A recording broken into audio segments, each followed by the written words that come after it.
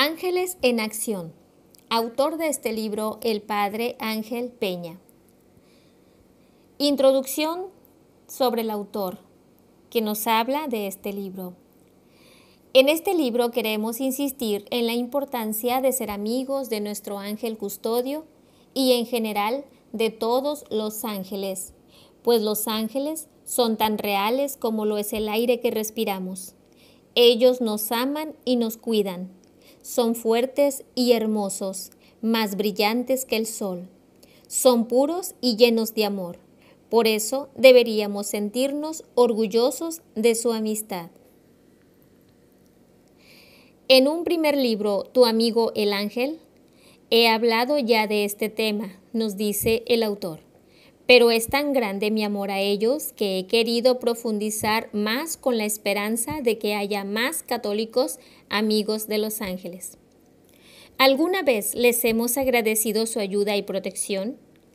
¿Alguna vez nos acordamos de invocarlos y de que nos ayuden en los momentos difíciles de la vida? ¿Nos acordamos de saludar y amar a los ángeles de los que nos rodean? Son muchas las preguntas que podríamos hacer Ojalá seamos conscientes de la importancia de los ángeles y de la eficacia de ser sus amigos. Estimado lector, te deseo que seas amigo de todos los ángeles, especialmente de tu ángel custodio. Vale la pena aceptar la amistad que nos brindan y ofrecerles también nuestra amistad. Los ángeles están siempre vigilando y ayudando. Nunca están ociosos, pero esperan tu llamada para entrar en acción en tu favor. Por eso te deseo un buen viaje por la vida en compañía de los ángeles. Los ángeles son seres personales, espirituales, servidores y mensajeros de Dios. Son criaturas personales e inmortales y superan en perfección a todas las criaturas visibles. Por eso es muy triste ver a mucha gente que tiene un concepto totalmente equivocado de los ángeles y que nunca buscarán su amistad, porque no creen que sean personas, sino que los confunden con energías o con fuerzas impersonales, incapaces de pensar ni de actuar por sí mismos. Lamentablemente, si uno va a una librería, podrá encontrar libros sobre ángeles que dan suerte y dinero o que ayudan a tener éxito. Eso parece ser lo único que les interesa a algunos. Otros consideran a los ángeles como esclavos automáticos del hombre, de modo que todo lo que le pidan será automáticamente concedido. Según ellos, pueden contestar preguntas sobre cualquier tema o pueden ayudar en cualquier cosa, como si fueran robots, que actúan sin inteligencia y sin libertad. Pero nada más lejos de la realidad. Los ángeles son buenos, pero no esclavos. Ellos obedecen a Dios y están a su disposición para servirnos. Hay quienes confunden a los ángeles con sus propios sentimientos. Hablan de ángeles interiores y de ángeles exteriores. Incluso les ponen los nombres más disparatados que se puede imaginar. Unos dicen que hay ángeles encargados de los signos del zodiaco, o de cada día de la semana, o de cada mes o año, de cada color o de cada sentimiento. En fin, unas ideas totalmente equivocadas, alejadas de la doctrina católica.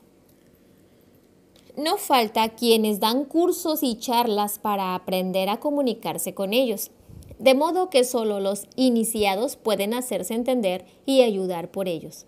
Algunos dicen que hay que poner seis velas y seis vasos con seis peticiones y esperar cierta hora para que vengan a ayudarnos. En el libro Jugando con los ángeles de Hania Saeskovsky se ofrece la mejor manera de conseguir consejos de los ángeles y una buena comunicación con ellos. Es un juego mágico en el que se combinan dos series distintas de cartas. En total son 104 para conversar con los ángeles y conseguir las respuestas que necesitamos a nuestros problemas. En ese mismo libro se incluye un botiquín de primeros auxilios angélicos destinado a curar todas las heridas del alma con mucha dosis de cariño y ternura angelical. Pareciera que en este caso concreto pudiera conseguirse cualquier cosa de ellos por medio de cartas, que contienen oráculos con todas las respuestas a nuestras preguntas y necesidades. Otros dicen que la comunicación con ellos puede hacerse por medio de sueños o de meditación trascendental o de oraciones especiales hablan de realizar ciertos ritos para mejorar la comunicación, como ponerse cierta ropa, pues cada color atrae a cierto tipo de ángeles. Algunos hablan de cristales angelicales que están llenos de energía angélica y que sirven para comunicarse con ellos. Por supuesto que estos cristales u otros objetos de comunicación cuestan dinero y no son para los pobres. También se venden talismanes y objetos llenos de energía angelical para defenderse de los enemigos. En algunas tiendas se venden esencias de ángeles y líquidos de distintos colores para comunicarse con distintas categorías de ellos. Algunos que se consideran especialistas en el tema dicen que el color rosa es especial para comunicarse con el ángel custodio. El azul es para comunicarse con los ángeles que sanan. El rojo para comunicarse con los serafines. Según ellos, hay ángeles especializados en conseguir novio o sanar el cáncer o el SIDA o los problemas de garganta o de estómago. Otros son especialistas en enseñar a ganar dinero fácilmente o en conseguir trabajo. Hay ángeles que son apropiados para cada profesión, ángeles para arquitectos o ingenieros o abogados, médicos, etc. Normalmente estos sabios, o mejor sabidos, en el tema de los ángeles, aceptan la reencarnación y creen que hay ángeles para los hombres de esta vida y para las sucesivas vidas que seguirán. Hablar de ángeles y de reencarnación, algo totalmente contradictorio para un cristiano, los seguidores de la nueva era hablan de que no hay ángeles caídos o demonios. Todos son buenos. Los demonios dicen no son malos y mezclan a los ángeles con el ocultismo y a veces afirman que son extraterrestres o reencarnaciones de hombres superiores que ya pasaron por este mundo. En cuanto a opiniones, parece que todo vale. Pero nosotros no podemos creer en tantas barbaridades que pueden llevarnos a la confusión o a la negación de la existencia de estos seres puros y hermosos, que son nuestros compañeros de camino y que Dios nos ha dado como amigos para ayudarnos en nuestras luchas y dificultades de la vida. Por eso, seleccionemos los libros que leemos, tengamos prudencia en no asistir a cursos o charlas sobre ángeles de sectas o grupos no católicos y sobre todo aprendamos lo que dice la Iglesia en el Catecismo y lo que nos dicen los santos, que han vivido en íntima unión con los ángeles y son un ejemplo para nosotros. Ángeles caídos. Ciertamente los demonios existen y son millones. Son ángeles caídos que se rebelaron contra Dios en mi libro La vida es una lucha contra el mal, he hablado sobre este tema. Contra ellos tenemos que luchar a brazo partido, pues como nos dice San Pablo, nuestra lucha no es contra la sangre y la carne, sino contra los principados, contra las potestades, contra los dominadores de este mundo tenebroso, contra los malos espíritus. Efesios 6:12 los demonios luchan para alejarnos de Dios y atraernos a su reino de maldad y llevarnos a vivir en su compañía eternamente en el infierno, pero con la ayuda de Dios podemos vencerlos. El padre Giovanni Salerno, misionero en las alturas de los Andes peruanos del sur del Perú, cuenta que en una ocasión se le presentó una pobre mujer que le quería entregar a su niño, suplicándole con lágrimas en los ojos que le encontrara alguien que lo adoptara en Europa, y se lo dejó. Esta pobre mujer era una esclava, su patrona, una maestra, era la dueña del pueblo, dueña de las vacas, dueña de todo, una verdadera déspota del pueblo, y cuando supo el hecho, desencadenó un infierno contra mí, obligando a la mamá del niño a buscarme para que se lo devolviera. Pero no pude devolvérselo porque ya lo había entregado yo al juez de paz de Catacumbas. Aquella patrona sembró en todo el pueblo pesadas calumnias contra mí, valiéndome del hecho de que el juez de paz me había entregado a mí aquel niño y que por lo tanto, según la ley, el niño era mío. Decidí ir al pueblo para arreglar la situación, pero llegando a la entrada del poblado, el caballo no pudo dar un paso más. Con su cabeza hacía grandes esfuerzos para avanzar, pero inútilmente, pues parecía como si tuviese delante de sí una muralla que no podía atravesar. Entonces bajé del caballo, recé una oración de liberación contra el maligno y rocié el caballo con agua bendita. Hecho esto, el caballo volvió inmediatamente a galopar. Todas las personas esperaban que sucediera una tragedia, pero no. Aquel niño, dejado libre por la patrona, corrió a echarse en mis brazos. Ahora es un joven que vive en Italia, adoptado por una maravillosa pareja de esposos. Podría narrar muchas anécdotas acerca del demonio. Por ejemplo, Satanás se ensañó conmigo y empezó a inquietarme y atormentarme con terribles temores y angustias, que llegaron a enfermarme del corazón y ninguna medicina podía devolverme la serenidad y la salud a tal punto que solamente con mucho esfuerzo y sin levantarme de la cama lograba celebrar la Santa Misa. Pero le rezaba a la Virgen María, le rezaba, le rezaba, oraba y no me cansaba de rezar rosario tras rosario todo el día. Pero cuando la situación se agravó, le pedí a Lipio, el chofer de la misión, que me llevara al Cusco y desde allí a Lima. A mitad del camino a Cusco paramos para un poco de descanso. Fue entonces, mientras bajaba del coche, cuando sentí que una fuerza misteriosa dejaba mi cuerpo. Sentí algo así como un ser que salía de mi cuerpo, al mismo tiempo que volvían a mí el vigor y la alegría de vivir. Recuerdo que un sacerdote fue bendecir una casa y al llegar a cierta habitación donde se había practicado la ouija y adivinación, no podía entrar a bendecirla, como si una fuerza poderosa se lo impidiera. Invocó a Jesús y a María y pudo entrar. Encontrando en uno de los cajones de la habitación unas figuras de diablos que habían usado en sesiones de magia, por eso es bueno bendecir las casas y los coches para pedir la protección de Dios. Especialmente hay que bendecir los lugares donde hayan practicado magia o hechicería y quemar los objetos que se hayan usado. Se puede decir la siguiente oración, echando agua bendita.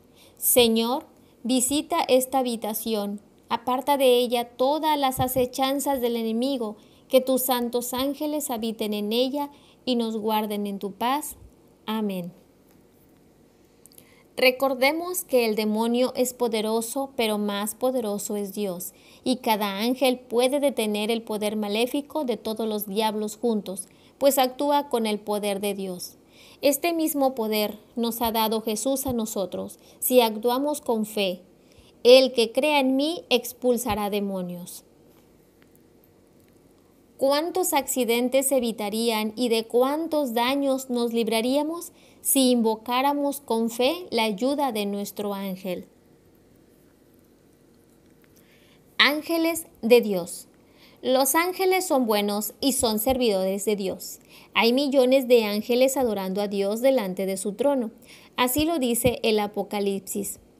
Oí la voz de una multitud de ángeles alrededor del trono, de los vivientes y de los ancianos su número era de miradas de miriadas y millares de millares, y repiten sin descanso día y noche, Santo, Santo, Santo, Señor Dios Todopoderoso. Y adoran al que vive por los siglos de los siglos y arrojan sus coronas delante del trono diciendo, Eres digno, Señor y Dios nuestro, de recibir la gloria, el honor y el poder porque tú has creado el universo y por tu voluntad lo que no existía fue creado. Apocalipsis 8, 11. 4, 8, 11. Ellos se sentirán felices de que nos asociemos a ellos en la adoración a nuestro Dios y Señor. Por eso cuando vamos a una iglesia, pensemos que hay millones de ángeles adorando a Jesús Eucaristía y asociémonos a ellos adorando a nuestro Dios.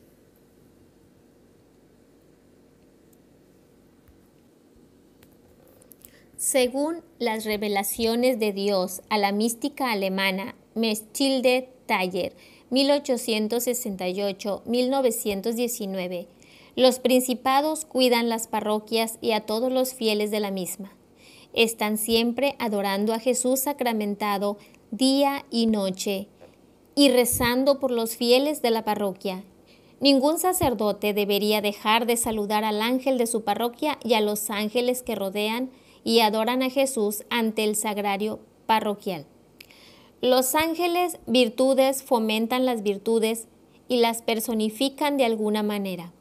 Algunos de estos ángeles destacarían especialmente en una virtud concreta, por ejemplo, en la pureza, en la fidelidad, en la generosidad, en la paciencia, en la alegría, en la esperanza, por eso sería muy conveniente pedir al ángel pureza esta virtud o al ángel alegría que nos dé la alegría que necesitamos para librarnos de la tristeza y así podemos hacer con otras virtudes, especialmente con aquellas que más necesitamos.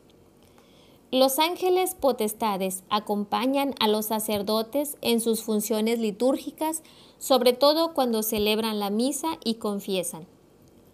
Los ángeles dominaciones son ángeles que asisten especialmente a los misioneros para extender el reino de Dios.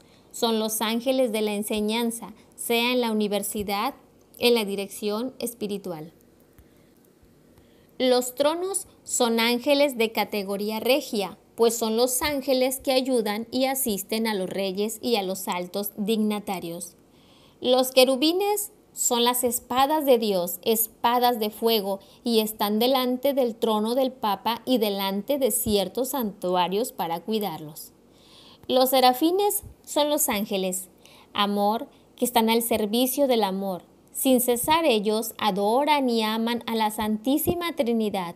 Han sido creados para amar y adorar a Dios. Son los ángeles de más categoría espiritual o más amor están llenos de fuego del amor de Dios. Quizá estas ideas de Mestilde Taller sean opinables, pero lo que sí es cierto es que hay coros de ángeles diferentes que tienen misiones distintas y que sería muy bueno hacernos amigos de cada uno de estos coros para que nos ayuden en nuestra vida.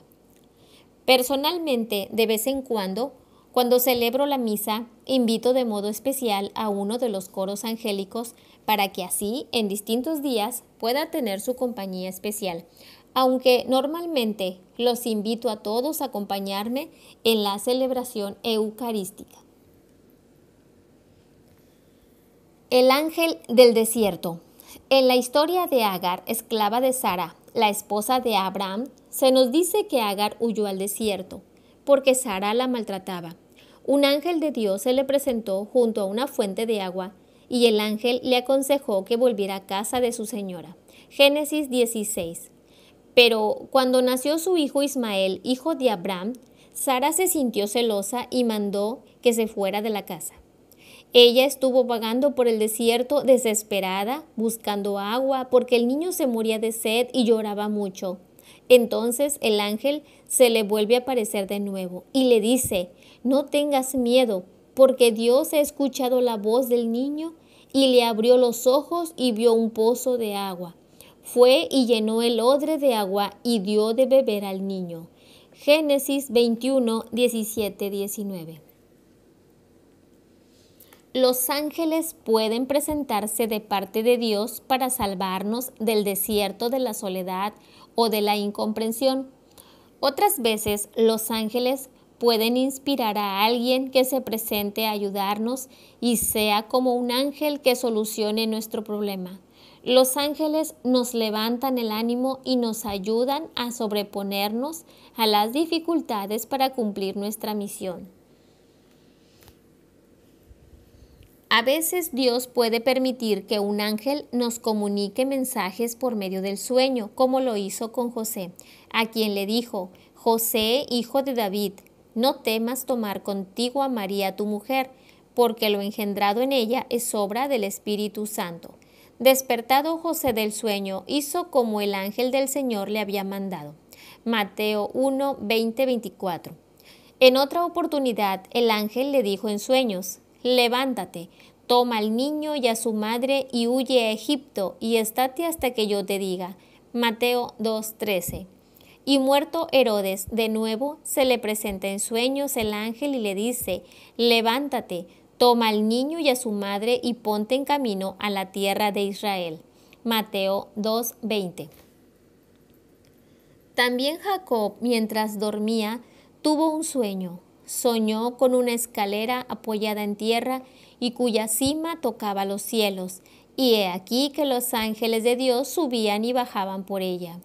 Y vio que Dios estaba sobre ella, y asustado dijo, Qué temible es este lugar. Esto no es otra cosa sino la casa de Dios y la puerta del cielo. Génesis 28, 12, 17. Los ángeles velan nuestros sueños suben al cielo y bajan a la tierra, si se puede hablar así, para presentar ante Dios nuestras obras y oraciones mientras dormimos. Los ángeles oran por nosotros y nos ofrecen a Dios cuanto ora nuestro ángel por nosotros. ¿Hemos pensado en agradecérselo? Y si pedimos oraciones a los ángeles de nuestros familiares y amigos y a los que están adorando a Jesús en los sagrarios, Pidamos oraciones por nosotros a los ángeles. Ellos velan nuestros sueños. El ángel de la bendición. Los ángeles también nos bendicen frecuentemente en nombre de Dios. Por eso es hermoso lo que dice Jacob. Cuando bendice a su hijo José y a sus nietos Efraín y Manasés, el ángel que me ha librado de todo mal, bendiga a estos pequeños. Génesis 48, 16. Pidamos la bendición de Dios a nuestro ángel antes de acostarnos y cuando vayamos a realizar algo importante, como se la pedimos también a nuestros padres cuando vamos de viaje o como los niños cuando van a dormir. El ángel de la oración. Un ángel de Dios se le aparece a la que será madre de Sansón, que era estéril. Le dice que va a concebir un hijo, el cual debe ser Nazareo consagrado a Dios desde el nacimiento. Él no deberá beber vino ni bebida fermentada. No debe comer nada impuro ni dejarse cortar el cabello. En una segunda oportunidad se le aparece también al padre llamado Manoah, quien le pregunta su nombre. Si quieres preparar un holocausto, ofréceselo a Dios. Y Manoah tomó el cabrito y la oblación y lo ofreció a Dios sobre la roca. Manoah y su mujer estaban mirando cuando la llama subía del altar hacia el cielo. El ángel subía en la llama. Jueces 13, 16, 20. El ángel comunica a los padres de Sansón la noticia de que tendrán un hijo y que según los planes de Dios debe ser consagrado a Dios desde el nacimiento. Y cuando ofrecen un sacrificio, el ángel sube con la llama hacia Dios para significar que los ángeles ofrecen nuestros sacrificios y oraciones a Dios. El arcángel San Rafael es uno de los que presentan nuestras oraciones a Dios.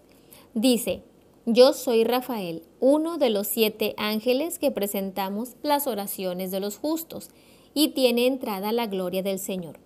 Cuando orabais tú y tu nuera Sara, yo presentaba ante Dios vuestras oraciones. Tobías 12, 12, 15. El ángel de la curación. Todos conocemos la hermosa historia del arcángel San Rafael, descrita en el libro de Tobías.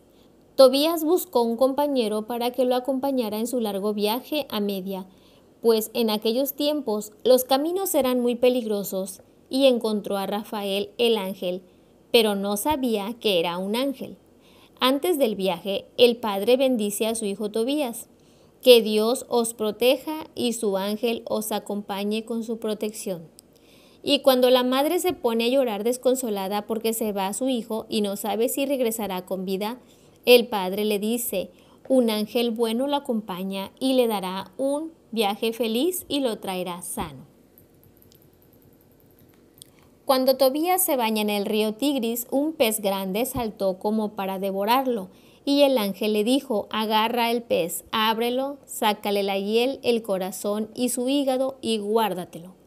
Tira los intestinos, porque su hiel, su corazón y su hígado son remedios útiles. La hiel sirve para untar los ojos de un hombre con cataratas para que quede sano. Cuando regresaron de largo viaje, después que Tobías se casara con Sara, Rafael le dijo a Tobías, Tengo por seguro que se abrirán los ojos de tu padre. Úntale los ojos con la hiel del pez y el remedio hará que las manchas blancas se contraigan y se le caerán como escamas de los ojos. Y así tu padre podrá mirar y ver la luz. Y Tobías le aplicó el remedio a su padre y con ambas manos le quitó las escamas de la comisura de los ojos. Y el padre dijo, ahora te veo, hijo, luz de mis ojos. Tobías 11, 7, 13. San Rafael Arcángel es considerado como medicina de Dios, como si fuera un médico especialista en todas las enfermedades haríamos bien en invocarlo en todas las enfermedades para que podamos obtener la curación con su intercesión. El ángel del fuego. Cuando los tres jóvenes hebreos, Misac, Sidrach y Abed-Nego, fueron echados al horno de fuego en Babilonia por el rey Nabucodonosor, el fuego no los quemó y se paseaban entre el fuego cantando y alabando a Dios. Pero se veían cuatro en vez de tres. Por eso el rey preguntó a sus consejeros, ¿No hemos echado nosotros al fuego a estos tres hombres atados? Pero yo estoy viendo cuatro hombres que se pasean libremente por el fuego sin sufrir daño alguno. Y el cuarto tiene el aspecto de un hijo de los dioses. Y Nabucodonosor exclamó, Bendito sea el Dios de Sidrach, Misac y Abednego, que ha enviado a su ángel a librar a sus siervos que confiando en él, quebrantaron la orden del rey y entregaron su cuerpo antes de servir y adorar a ningún otro fuera de su Dios. Daniel 3. El ángel los libró del fuego y se paseaba con ellos, cantando y alabando a Dios. En caso de catástrofes naturales, incendios o desgracias de cualquier tipo, Dios nos puede ayudar y salvar por medio de nuestro ángel. Incluso nos puede salvar de animales peligrosos como salvó a Daniel del foso de los leones. Daniel 14. El ángel proveedor. En una oportunidad, el profeta Elías estaba en pleno desierto después de haber huido de Jezabel y estaba hambriento y sediento y quería morirse. Se deseó la muerte, se acostó y se durmió bajo una retama. Pero un ángel lo tocó y le dijo, levántate y come. Miró y vio a su cabecera una torta cocida sobre piedras calientes y un jarro de agua comió y bebió y se volvió a acostar. Volvió segunda vez el ángel de Dios, le tocó y le dijo, levántate y come, porque el camino es demasiado largo para ti. Se levantó, comió, bebió, y con la fuerza de aquella comida caminó cuarenta días y cuarenta noches hasta el monte de Dios, el Joreb. Así como el ángel le dio de comer y beber a Elías, también Dios nos puede dar de comer y beber por medio de nuestro ángel, cuando estemos en momentos angustiosos. Puede hacerlo con un milagro o por medio de otras personas que compartan su pan y su comida con nosotros. Por eso Jesús nos dice en el Evangelio, dadles vosotros de comer. Mateo 14, 16. Nosotros también podemos ser como ángeles proveedores para otros que están en necesidad. El ángel protector. Dios nos dice en el Salmo 91, aunque a tu lado caigan mil y diez mil a tu derecha, a ti no te alcanzará. No ha de alcanzarte el mal ni la plaga llegará hasta tu tienda, porque ha dado orden a sus ángeles para que te guarden en todos tus caminos. Te llevarán en sus palmas para que tu pie no tropiece en la piedra. Pisotearás leones y dragones, a ti no te alcanzará. En medio de las dificultades más extremas, aún en plena guerra, Cuando las balas silben a nuestro alrededor o la peste se extienda por la vecindad, Dios puede salvarnos por medio de sus ángeles. En lo más duro de la pelea, se les aparecieron en el cielo a los adversarios cinco varones resplandecientes montados en caballos con frenos de oro, que poniéndose a la cabeza de los judíos y tomando en medio de ellos al macabeo, lo protegían con sus armas. Le guardaban incólume y lanzaban flechas y rayos contra el enemigo, que herido de ceguera y espanto caía. El ángel poderoso, San Miguel, es el príncipe de los ángeles y es poderoso defensor ante los ataques del enemigo de las almas, el demonio. Dice el Apocalipsis, hubo una batalla en el cielo, Miguel y sus ángeles combatieron contra el dragón. También el dragón y sus ángeles combatieron, pero no prevalecieron y no hubo en el cielo lugar para ellos. Y fue arrojado el gran dragón, la serpiente antigua, el seductor del mundo entero, fue arrojado a la tierra y sus ángeles fueron arrojados con él. Apocalipsis 12, 7, 9. Está claro que San Miguel Arcángel tiene un poder especial contra el demonio que siempre nos ataca, queriendo apartarnos del amor de Dios. Un día de diciembre de 1884 o de enero de 1885, en el Vaticano, en su capilla privada, el Papa León XIII, después de haber celebrado misa, asistió a una segunda misa. Hacia el final, se le vio levantar la cabeza de repente y mirar fijamente hacia el altar, encima del tabernáculo. El rostro del Papa palideció y sus rasgos se tensaron. Acabada la misa, León XIII se levantó y todavía bajo los efectos de una intensa emoción se dirigió hacia su estudio. Un prelado de los que le rodeaban le preguntó, Santo Padre, ¿se siente fatigado? ¿Necesita algo? No, respondió León XIII. No necesito nada. El Papa se encerró en su estudio. Media hora más tarde hizo llamar al secretario de la congregación de ritos. Le dio una hoja y le pidió que le hiciera imprimir y la enviara a los obispos de todo el mundo. ¿Cuál era el contenido de esta hoja? Era una oración al arcángel San Miguel compuesta por el mismo León XIII. Una oración que los sacerdotes recitarían después de cada misa rezada, al pie del altar, después del Salve Regina, ya prescrito por el Pío IX. León XIII confió más tarde a uno de sus secretarios, Monseñor Rinaldo Ange, que durante la misa había visto una nube de demonios que se lanzaban contra la iglesia para atacarla. De ahí su decisión de movilizar a San Miguel Arcángel y a las milicias del cielo para defender a la iglesia contra Satanás y sus ejércitos. Invoquemos a San Miguel en esta lucha sin cuartel, que durará toda nuestra vida y recemos la oración. San Miguel Arcángel, Defiéndenos del enemigo y ampáranos de todas las acechanzas del maligno. Que Dios te reprima, espíritu maligno, y tú, príncipe de la milicia celestial, arroja con el divino poder a Satanás a lo más profundo del infierno, y también a los otros espíritus inmundos que vagan por el mundo buscando la perdición de las almas. El ángel del nacimiento Gabriel es el mensajero de Dios por excelencia, pues fue el encargado de comunicarle a María la gran noticia de que iba a ser la madre de Jesús. Lucas 1. Algunos autores han considerado a Gabriel como el ángel de los nacimientos, como si tuviera un poder especial para que las mamás den a luz sin dificultad. No estará de más invocarlo a él junto al ángel del niño por nacer y al ángel de la madre y del padre, para que haya un parto feliz. El ángel de la alegría.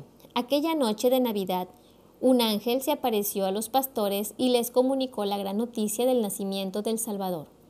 El ángel estaba tan contento que se puso a cantar y alabar a Dios con una multitud del ejército celestial, diciendo, Gloria a Dios en el cielo y paz en la tierra, a los hombres de buena voluntad.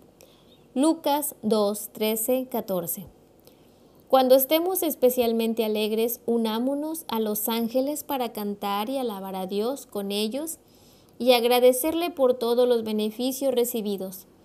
No olvidemos que los ángeles anunciaron a María Magdalena y a las buenas mujeres la gran alegría de la resurrección de Jesús. Recordemos lo que dice Jesús, en el cielo hay mucha alegría entre los ángeles de Dios por un solo pecador que se convierte. Lucas 15:10 Por eso procuremos mejorar nuestra vida y amar cada día más a Dios y digamos con el Salmo, en presencia de los ángeles cantaré para ti, Señor. Salmo 138, 1. Los ángeles servidores. Los ángeles nos ayudan y están puestos por Dios para servirnos y ayudarnos en todas nuestras necesidades. Así lo hicieron con Jesús. Permaneció en el desierto cuarenta días, siendo tentado por Satanás. Estaba entre los animales del campo y los ángeles le servían. Marcos 1:13. ¿Cuántas veces nuestro ángel nos habrá servido en las más mínimas cosas de la vida o habrá hecho que alguien nos sirviera para hacernos felices? ¿Le pedimos ayuda frecuentemente? Si no lo invocamos, podemos perdernos muchas bendiciones que Dios solo nos dará a través del ángel, a quien ha puesto a nuestro lado, no para que tome nota de lo que hacemos o dejamos de hacer, sino para ayudarnos en nuestro caminar por la vida. El ángel del consuelo. Cuando Jesús estaba angustiado y sudando sangre en Getsemaní, se le apareció un ángel del cielo que lo consolaba. Lucas 22, 43. Nosotros también necesitamos consuelo en los momentos tristes y difíciles de la vida. Nuestro ángel será entonces nuestro consolador y podemos invocar al ángel del consuelo que consoló a Jesús en Getsemaní. Por otra parte, no nos olvidemos de ser nosotros también como ángeles consoladores para los demás. El ángel liberador. Metieron a los apóstoles en la cárcel pública, pero el ángel del Señor les abrió de noche las puertas de la prisión. Hechos 5:19. También San Pedro estaba en la cárcel y se le presentó el ángel del Señor. La celda se llenó de luz y el ángel despertó a Pedro, a quien dijo, ciñete y cálzate las sandalias, ciñete y cálzate las sandalias. Así lo hizo, añadió, ponte el manto y sígueme. Y salió siguiéndole. Salieron de la cárcel y anduvieron hasta el final de una calle. Y de pronto el ángel lo dejó. Hechos 12, 7, 10. El ángel lo libró de las cadenas y también nos puede librar a nosotros de la cadena de la droga, del alcohol, de la pornografía o de cualquier otro vicio. Pidamos ayuda a Dios y a nuestro ángel sin olvidar a María, que es nuestra madre. El ángel que nos lleva al cielo. Dice Jesús en la parábola del rico Epulón y del pobre Lázaro, Lucas 16, 19, 31, que cuando murió el pobre Lázaro fue llevado por los ángeles al seno de Abraham. Nuestro ángel custodio nos acompañará después de la muerte, incluso durante el tiempo de purgatorio, y no nos dejará solos hasta el momento en que nos presente totalmente limpios ante Dios y nos haga entrar en el cielo. Agradezcamos a nuestro ángel por todo lo que nos quiere y nos ayuda. El ángel de la predicación. El profeta Isaías tiene una experiencia que cambia su vida. Él la relata así. El año de la muerte del rey Osías, vi al Señor sentado sobre su trono alto y sublime. Había ante él serafines. Uno de los serafines voló hacia mí, teniendo en sus manos un carbón encendido y tocando con él mi boca. Dijo, mira, esto ha tocado tus labios. Tu culpa ha sido quitada y borrado tu pecado. Y oí la voz del Señor que me decía, ¿a quién enviaré? ¿Y quién irá de nuestra parte? Y yo le dije, aquí estoy yo, envíame a mí. Isaías 6, 1, 8. Un serafín de los que estaban adorando ante el trono de Dios le tocó los labios con fuego divino para que sus palabras fueran puras, purificándolas de todos sus pecados anteriores. Y entonces Dios mismo le pregunta si está dispuesto a ir de su parte a evangelizar. Isaías se pone a su disposición y es bendecido por Dios como profeta y evangelizador. Nosotros también necesitamos purificar nuestra boca de todas las malas palabras por la confesión y pedir a Dios que el fuego del Espíritu Santo nos purifique para que todas nuestras palabras sean puras y puedan llegar al corazón de nuestros hermanos. Todos estamos llamados a ser misioneros y predicar la palabra de Dios. ¿Estás tú dispuesto a ponerte al servicio de Dios para esta gran misión? Dios quiere purificarte. Tú eres más que el carbón de Isaías y tú puedes ser instrumento de Dios para purificar y santificar la vida de los demás. Misión de los ángeles. Los ángeles son nuestros amigos inseparables, nuestros guías y maestros en todos los acontecimientos de la vida diaria. El ángel guardián es para cada uno compañía, aliento, inspiración y alegría. Es inteligente y no puede engañarnos, siempre está atento a todas nuestras necesidades y preparado para librarnos de todo peligro. El ángel ha sido uno de los mejores dones que Dios nos ha podido dar para acompañarnos en el camino de la vida. Qué importantes somos para Él. Él tiene la misión de llevarnos al cielo y por eso cuando nos alejamos de Dios se siente triste. Nuestro ángel es bueno y nos ama respondamos a su amor y pidámosle de todo corazón que nos enseñe a amar cada día más a Jesús y a María. ¿Qué mayor alegría podemos darle que amar más y más a Jesús y a María? Amemos con el ángel a María y con María y todos los ángeles y santos, amemos a Jesús, que nos espera en la Eucaristía.